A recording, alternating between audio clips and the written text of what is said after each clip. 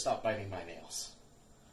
Because it was literally that close to pulling down the briefcase and getting my shot at my IWC Heavyweight Championship. A title that I'm after, but there's a thorn in my side, and that thorn's name is Dylan Bostic.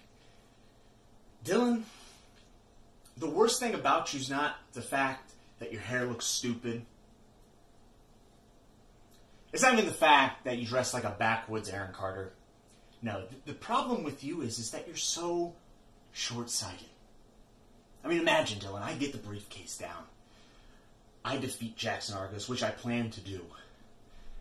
Who do you think gets the first shot at the heavyweight title? Did you think I was just going to let the DQ win, just put all of our past behind me? I was going to settle the score with you for the IWC Heavyweight Champ. The, the biggest prize that we have. The Heavyweight Championship. You ruined it! You ruined it, but I'm not. I'm not even angry. Because you just don't know.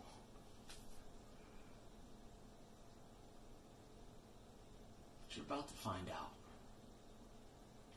You changed my trajectory forever. So maybe November 2nd, I lock on a triangle choke, a Kimura, maybe a heel hook, and I don't let go.